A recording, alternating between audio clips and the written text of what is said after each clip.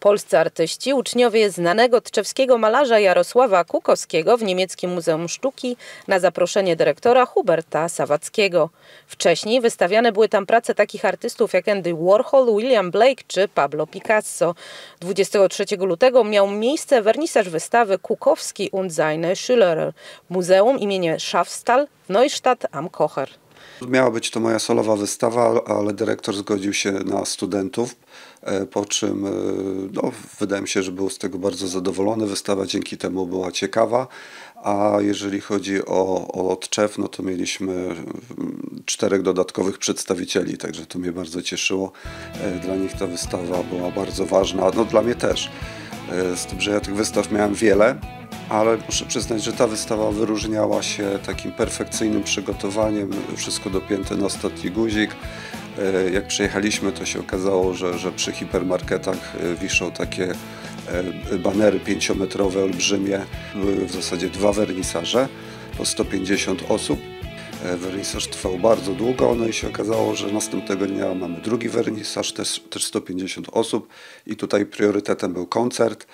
E, także no, te, te, te, kilka dni, które byliśmy w Niemczech, były bardzo intensywne, bo spotkania i z burmistrzem, i cały czas coś się działo. To nie jest, że, że był wernisaż i czas wolny.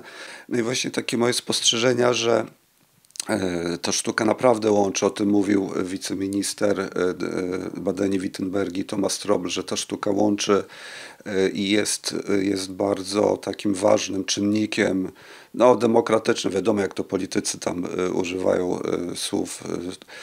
Niewielka miejscowość jest znana, znana na całe Niemcy ze względu na to muzeum. Znaczy, udało się zebrać ponad 130 y, prac. Prawie wszystkie zostały wystawione.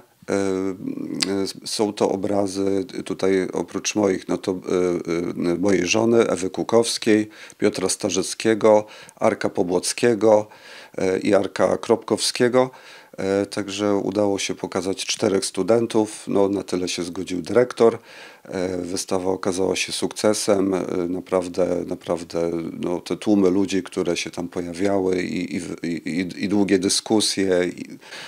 całe przedsięwzięcie, ta wystawa, koncerty, to perfekcyjne przygotowanie i, i ten kilkudniowy, bardzo owocny pobyt, ponieważ jest zainteresowanie już innych galerii, marszandów, więc uważam, że to było bardzo ciekawe doświadczenie e, i będzie, myślę, że będą jeszcze kolejne owoce tego na przyszłość.